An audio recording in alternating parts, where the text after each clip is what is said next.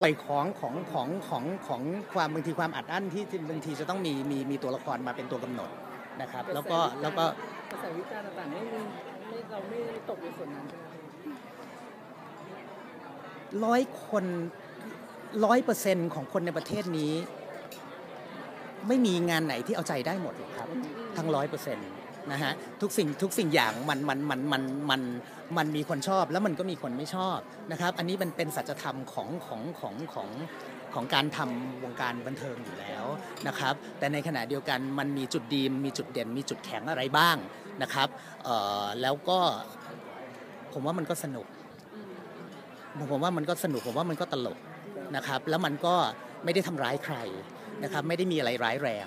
นะครับแล้วเรตติ้งมันก็ดีนะครับ ก็ไม่ทราบว่าเอ่อใครจะหาเรื่องอะไรเราอีกปีหน้าจะมีโอกาสได้เห็นพี่บอยกำกับละครไหมครับ นอกจากเรื่องที่ได้เห็นมาทั้งหมดเอ่อปีหน้าอาจจะอาจจะไม่มีครับ อาจจะตัวผมเองที่กำกับเองอาจจะไม่มีครับ อะไรนะครับ ไม่ต้องลองแล้วครับ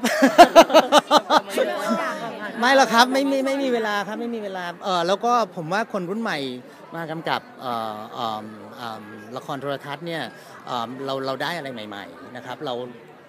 ผมไม่ชอบที่จะยึดติดนะครับแล้วเราดูภาพรวมอะไรอย่างเงี้ยก็แล้วแต่ครับยังไม่แน่ไม่นอนมันมันแล้วแต่ปีแล้วแต่ช่วงครับ มีแฟมันนๆรไม่อ มีเรื่องที่เรารู้สึกว่ายังอยาก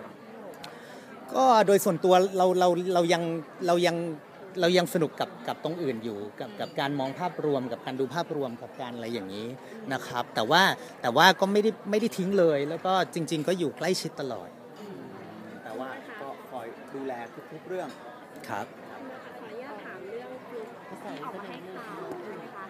ที่ไม่ต่อสัญญาแล้วอะค่ะพูดเก่ามากแล้วที่เราให้สัมภาษณ์นานมากแล้วเราข้างแรงนิดนึงครับบอกว่า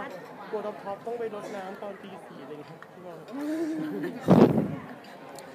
คุณก็ต้องไปอ่านต่อว่าการที่เขาบอกว่ารถน้ำคืออะไรเขาไปกับรถที่ขนที่ที่เอาน้ำไปที่กองถ่ายนั่นคือรถน้ำนะฮะแล้วผมก็นี่คนที่จะเอาไปรดน้ำที่บ้านรดน้ำต้นไม้อันนั้นอันนั้นก็แล้วแต่เขาครับ แต่ไม่เป็นไรครับ เพราะว่าบ้านผมต้นต้นไม้ก็งอกงามดีไม่มีไม่มีความจำเป็นว่าจะต้องมีใครมารดน้ำนะฮะแต่ว่าแต่สิ่งที่เขาพูดเขาก็พูดบอกว่าเขาก็เขาก็คือบางครั้งอาจจะต้องไปกับเอ่อ รถของกองถ่าย ซึ่งมันเช้านะครับ ก็ผมก็ว่ามันก็เป็นเรื่องปกตินะ มันก็เป็นเรื่องปกติคุณไปถามกองละครกองอื่นเขาก็ทำกันอย่างนั้นไม่ใช่เหรอนะครับ ก็ก็ไม่ไม่มีอะไรครับไม่ทราบครับ ผมผม